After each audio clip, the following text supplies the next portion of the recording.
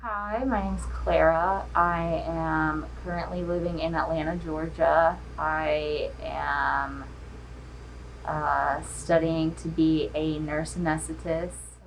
So I need a prosthetic eye because when when I was 16, I was diagnosed with ARN, which is acute retinal necrosis, or a disease that causes blindness. And so within 24 hours, uh, and a painful process, I lost all of the vision in my right eye.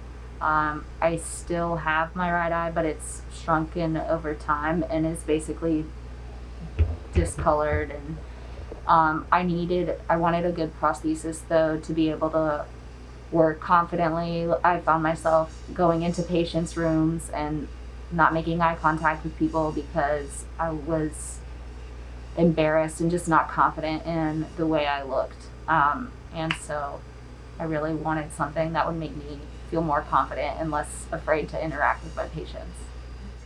My concerns looking for a prosthesis were so I'd seen two other ocularists and both times I left feeling a uncomfortable because it was kind of a bulgy prosthesis and um, so it was just hard to be comfortable day to day but two it just didn't match the shape of my other eye and it also didn't match the color well and so I just felt like every mirror I looked in or every time I had a conversation with somebody it was noticeable and so I wanted to find somebody that could make a match so good that I don't have to answer questions all the time or feel insecure. Okay, one thing I wish I knew about prosthetic eyes before I started.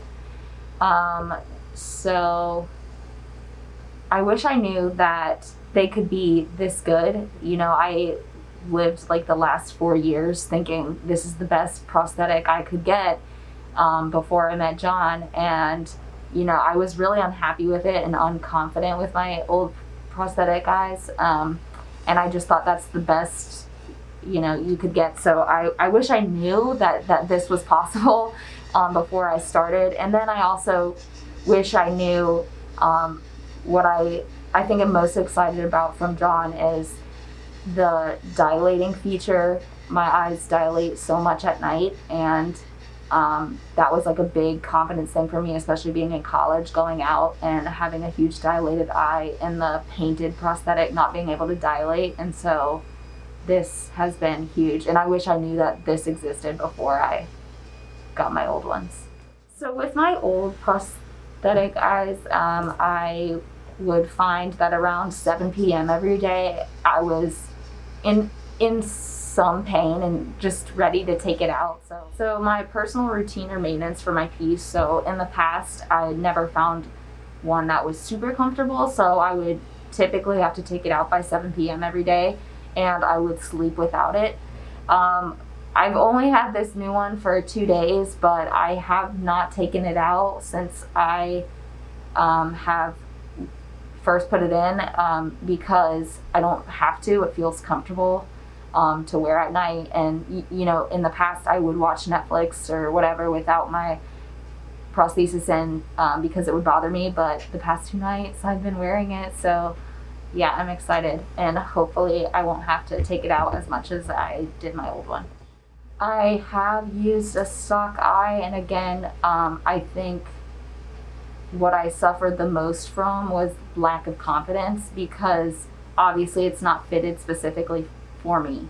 Um, and I knew that and I could tell because it was it didn't match my other eye and so I think lot, lack of confidence was one uh, some discomfort so I selected advanced artificial eyes for my prosthesis so and this this happened because uh, it was one day that I was out at a bar and I had I think three people that night say what's wrong with your other eye because it it just didn't match my good eye. Um, my prosthetic didn't match well.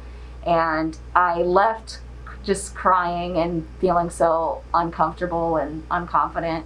And so on my walk home, as I was crying, I Googled uh, dilating pupil because I just thought I don't want to have to deal with this for the rest of my life or just. And so what came up was John. And I saw that he has this dilating feature. And so I immediately called him um, and set up an appointment to come out here. And I'm glad I did.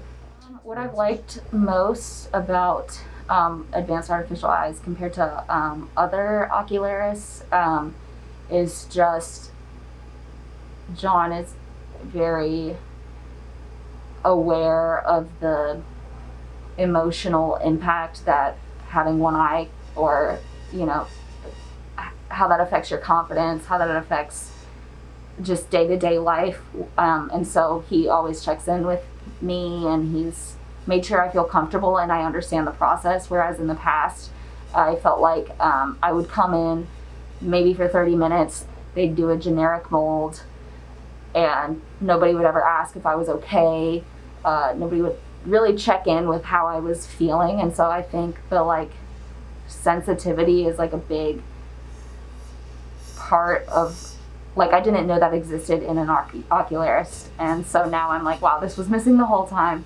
Um, because that's just as important as like perfection and artistic abilities. So, yeah, so my confidence is now has just dramatically increased over the last 48 hours with this um, new prosthesis. I mean, it looks just like my other eye. And, you know, I was doing my hair um, this morning in the mirror and to not like my, my gaze did not go directly to my prosthetic because I didn't even notice it, you know, like now I can look at other features um, on myself without just constantly critiquing my shell. So my confidence is better. What I'm grateful uh, that I don't have to worry about with this new prosthesis is not having to take it out all the time or having to leave places early uh, or dinners early to go home and take out my prosthesis because this is just much more comfortable. Um, and then I also don't have to worry about like looking the other direction when I'm speaking with people because this matches so perfectly. I can be confident and I don't need to kind of hide myself from the gaze of others. Would tell somebody in need of a prosthetic eye that um, I know now that I've met John is that there are there's more individualized pieces available. I think I, I'd always gotten a very generic molds that that aren't individualized for me and, and I just thought that was the best that was available. But I just had no, like, this is so individualized. This is the shape of my other eye. And I did not have that before. It was just some mold that was generic and not at all the shape of my other eye. It was just a go to mold for everyone. And so now that I have this and my eyes match so well the shape, the color, the size um, I just wish that I had known before, and I hope that other people out there looking for a new prosthetic know that there there's you can find somebody to um, make you make it match and make it make it just for you. And then also i would let people know that um, what i didn't know before is um, these appointments don't have like have to be um, dreadful and just kind of like a hassle. In the past i would just come in, be thrown out for a couple hours uh, while the ocularist would work on the shell, and I just felt like very uncomfortable and very distant from the provider the whole time. And so I would want people to know that you can make an appointment, you can find somebody like John who makes you feel comfortable and involved in the process and makes you feel seen and heard.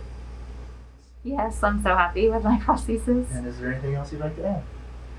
Um, I would just add that I wish that I had come here or found John four years ago because the last four years have been I've it's just been very it's been hard. I've been extremely like and not I've had very little confidence in myself and um, that's affected my social life, my social life in college.